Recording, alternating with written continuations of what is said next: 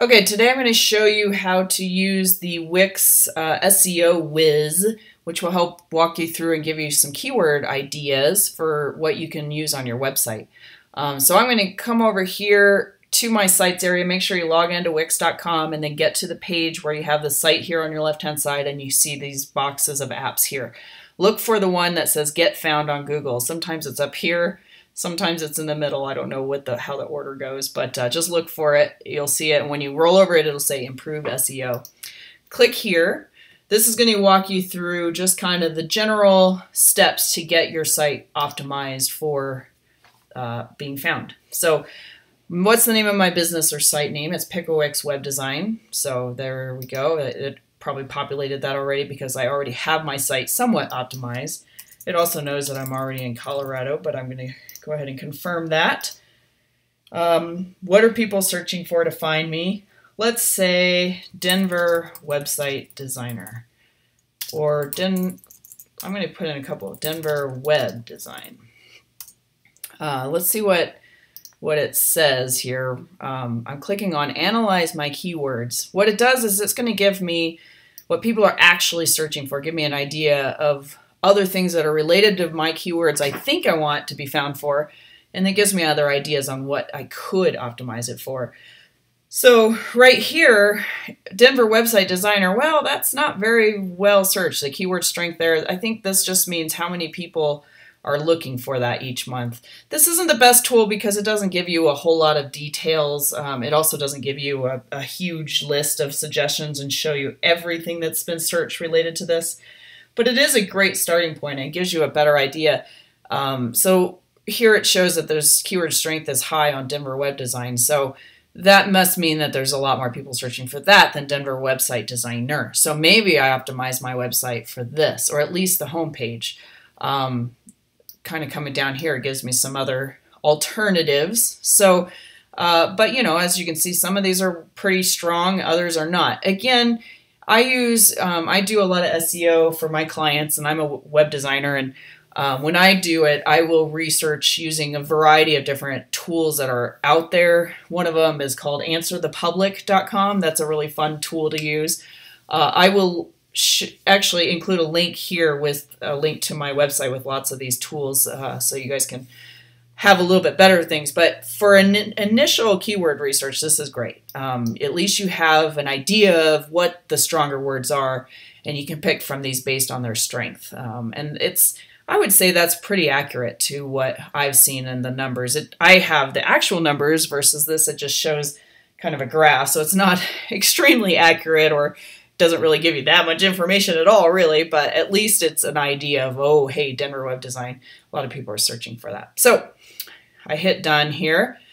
And then once I have kind of entered in all my other things, I can also put in a lot of other things too, like uh, garden design or landscape design. Um, one, I wanted to show you a quick example for, let's see, landscaper, garden design, landscaping company. Let's see what people are actually searching for regarding this. So I just want to give you an, an example of where sometimes you might not want to use um, certain keywords because they might not be what people are searching for to find a company like yours. For example, garden design. People are searching for garden construction, botanical garden, planning design. These two, garden design, they could just actually be looking for ideas. Um, they might not be looking to hire a company per se. They could be, but there's more of a chance that you're going to find a company if you use something like landscaping company, which is very strong. Um, rock landscaping contractor. Apparently, a lot of people are searching for that. Up here, landscape company, that's best.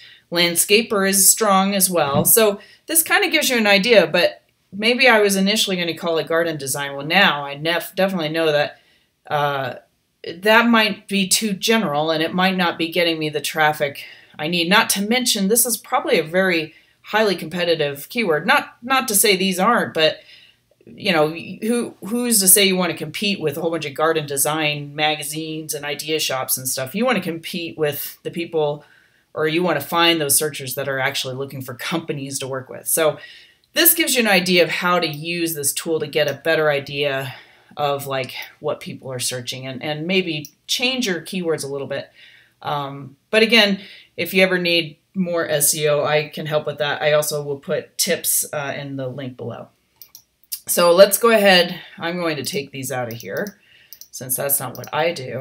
And I'll just put back in Denver Web Design. And then I'm going to go ahead and create an SEO plan. This will go through your site and check all the stuff that you have set up to make sure that your website is optimized correctly. So it's checking to see if your site is mobile friendly. Mine has a check because it is. Um, so that's always important with Google and, and other search engines now. The homepage is set to be visible. Yes, it is. That's good. If it wasn't, this would take me, I could get to the area, uh, go to the editor and make sure that's turned on. And I'll show you that in a second. Uh, the homepage's SEO title is ready. Yes, that's also going to be in the same area that we'll look at. The homepage's SEO description is good. Yes, it's always good to have a description written. And again, I'll show you where that is. Uh, homepage content is optimized. That means that you have have it there. Uh, now this one has a little thing that's just kind of weird. It says indexing your site. I'll submit an index request. I have actually done this, so I'm not sure why it doesn't think that this website is uh, submitted because it's I have uh, Google Analytics and so forth. But um, let's see what this what happens if we do this. Huh. Oh, this is a little odd thing. If you see this on yours and your site's already been submitted to Google, which by the way you should also do. I'll look at my tips at the bottom. It, there's instructions on where to do that and how to do that.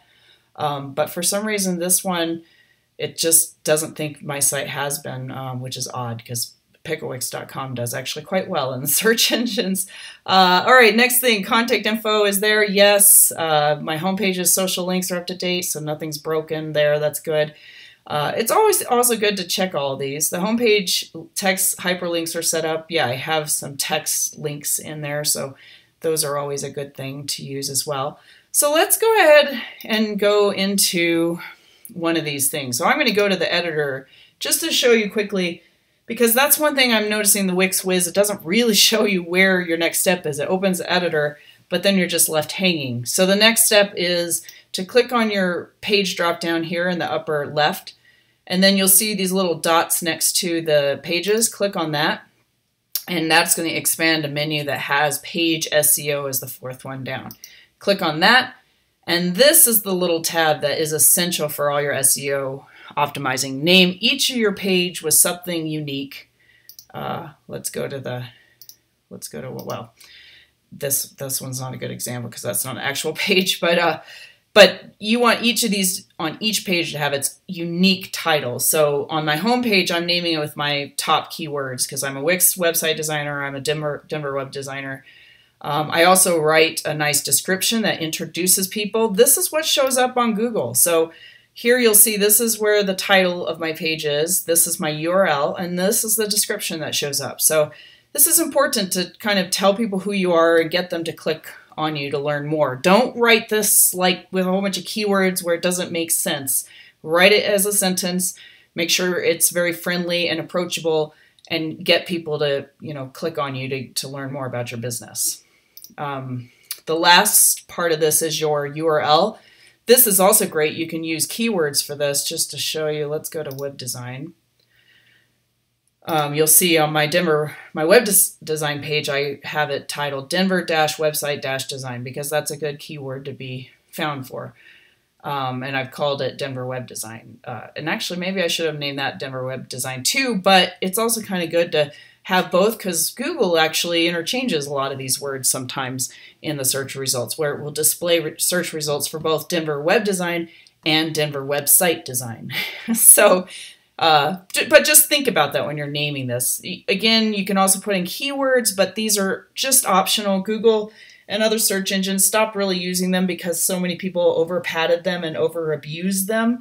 Um, so I recommend putting one or two in here, but not a lot. Just put one or two key terms. Uh, not, you know, don't have a hundred words here. That's not good. and then uh, when you're done with that, just hit done and publish just as you would with any other page. Um, so yeah, that's about all on the thing. I'm going to go back and remember Wix always works in tabs. Let's go back over to this uh, dashboard tab. But So I'm pretty much all done here. This shows me all my stuff and everything looks pretty good. Actually, there's more stuff. So I'm going to go through probably these and see what these are. And if I need to update stuff, then I can do that. Um, but again, not all of this. This isn't 100% accurate. Just use it as a guide, like getting indexed by Google. Let's just go to Google really quickly. And let's put in Wix website designer and see what happens. Oh, there I am. So I am showing up here. Um, of course, I always search, or I'm, it knows that I like my website because I, I'm on it more often, and Google does show you things that you've searched for before or whatever. Um, but yeah, it's here and it does well. So it is indexed by Google. So just to kind of say that that this whole tool, take it with a grain of salt because it may or may not be 100% accurate to everything. Um, I'm going to submit this to Google and just ask them, hey, why does it say it's not submitted when it is?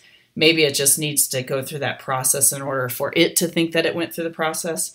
Um, but again, to find that, just get back over here to improve SEO, get found on Google in your dashboard, and definitely use that little keyword tool. Once you've gone through it, it'll just take you to this uh, general page, and it looks like it's having a little bit of issues right now, but uh, that's the web world for you.